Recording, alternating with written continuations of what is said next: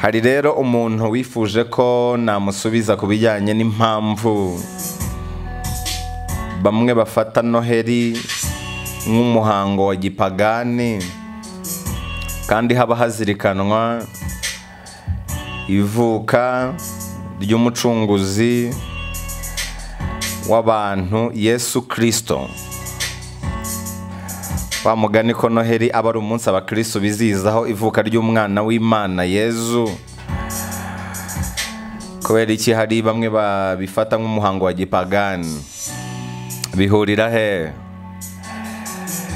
Umunsi abakristo bizihizaho ivuka ry'umwana w'imana yezu kirisito umunsi uzwi cyane ku izina rya noheri.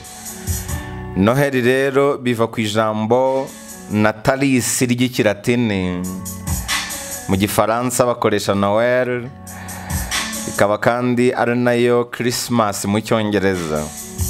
Christmas day. Umunsi wa noheri waba waremejwe kugira ngo uhurirane n'imboneko z'ukwezi kwa mbere ku itumba kubera ko abaromani bawizihiza ku itariki ya makumyabiri na gatanu kuboza buri mwaka.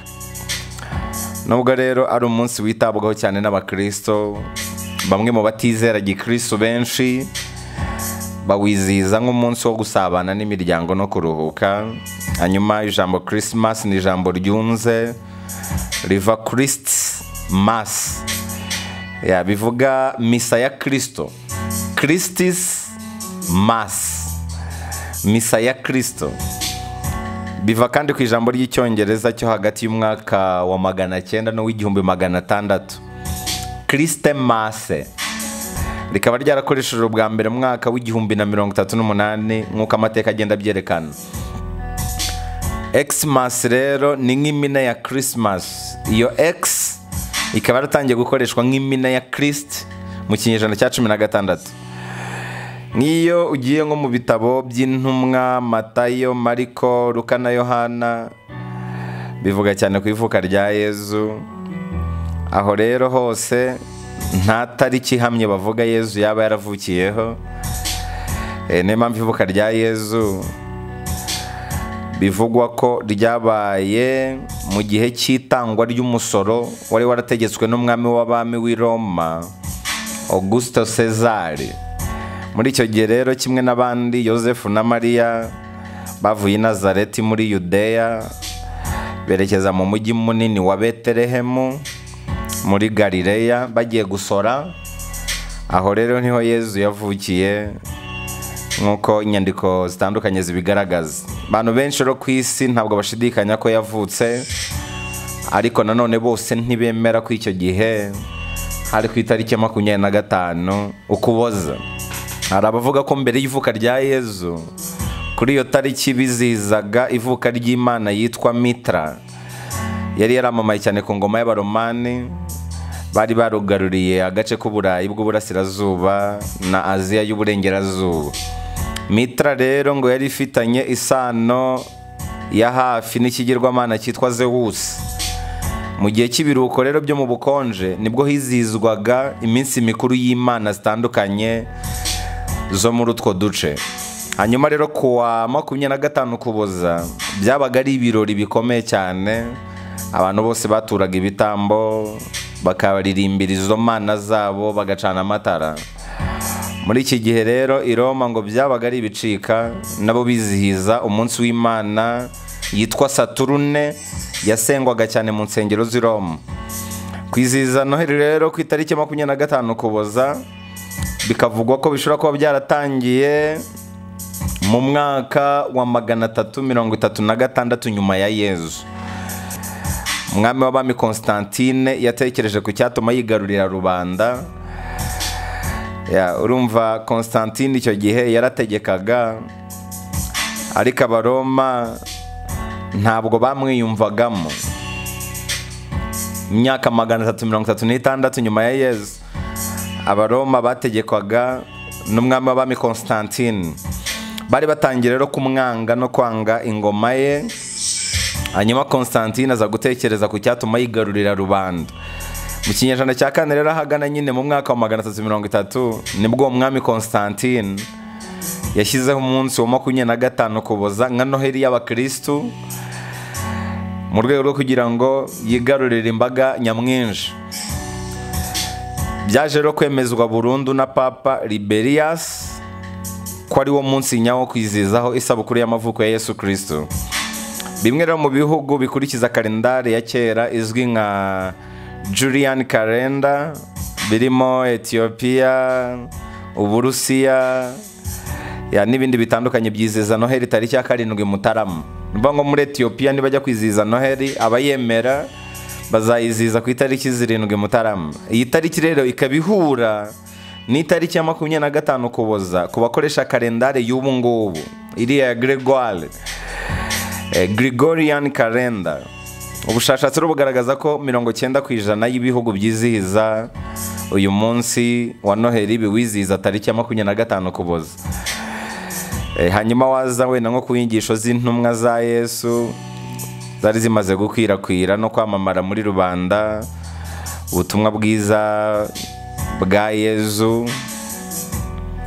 nabwo bwari bumaze kugenda bukwirakwira.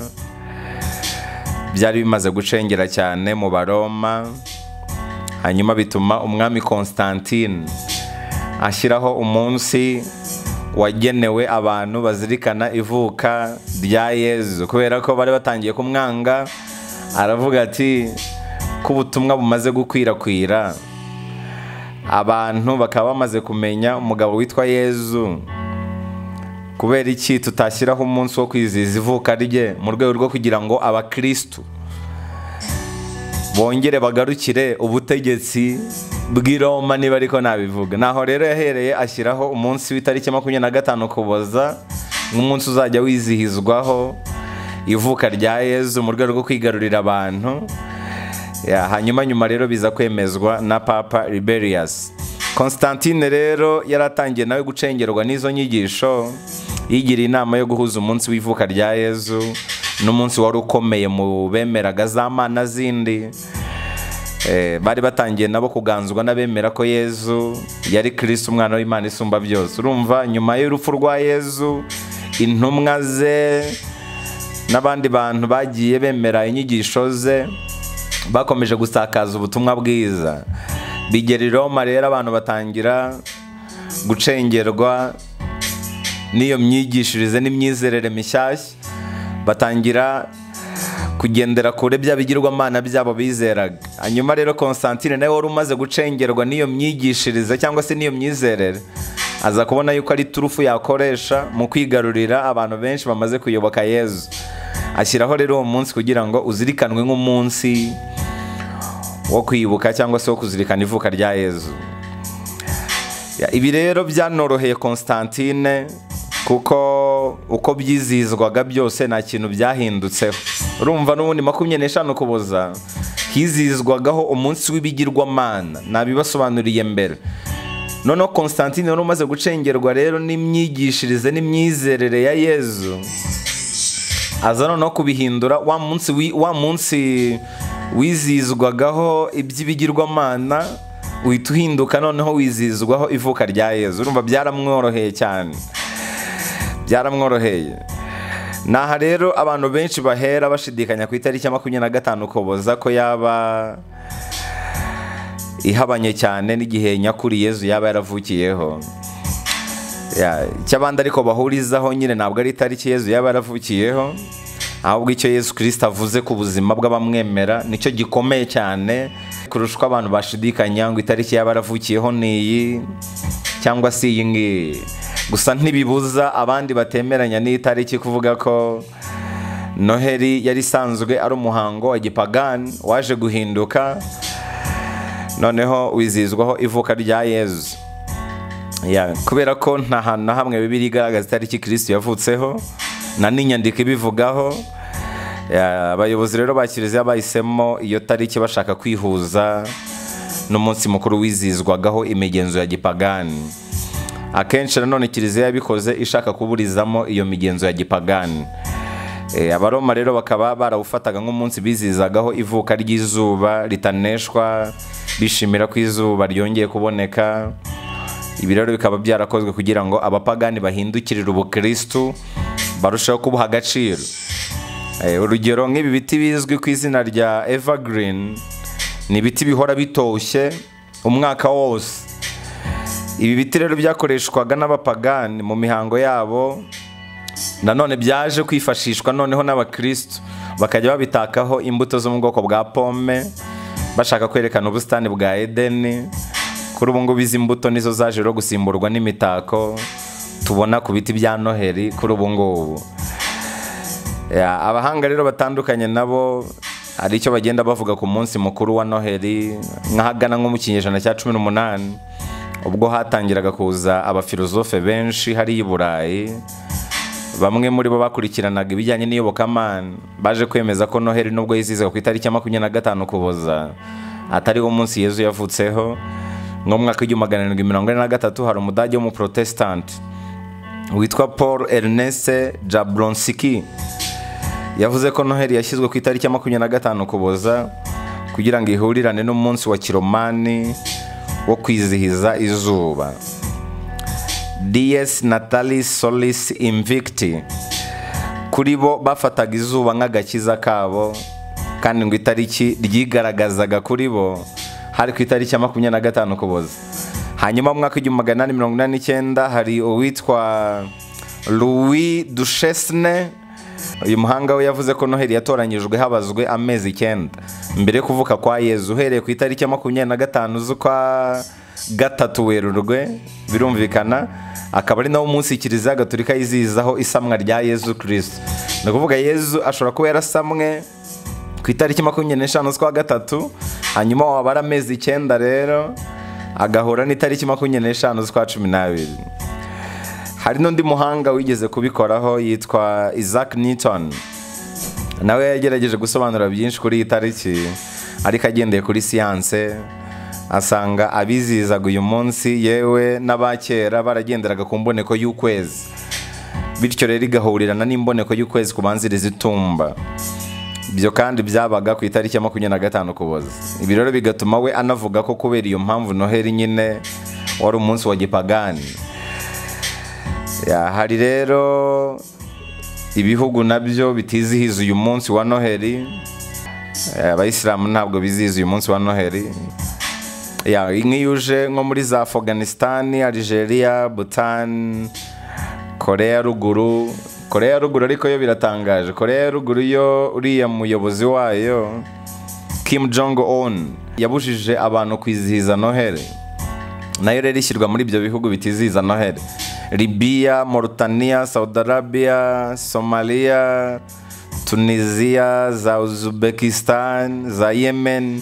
Ibi ni bimwe mu bihugu bitizihiza noheli nubwo bimwe mu bihugu rero bitawizihiza ariko hari n'ibindi bihugu byo biwufata nk'umunsi w'ubucuruzi aho kuwufata nk'umunsi w'ikiruhuko kugeza ubwo amashuri amabanki amasoko byose biba biri gukora nk'uko bisanzwe.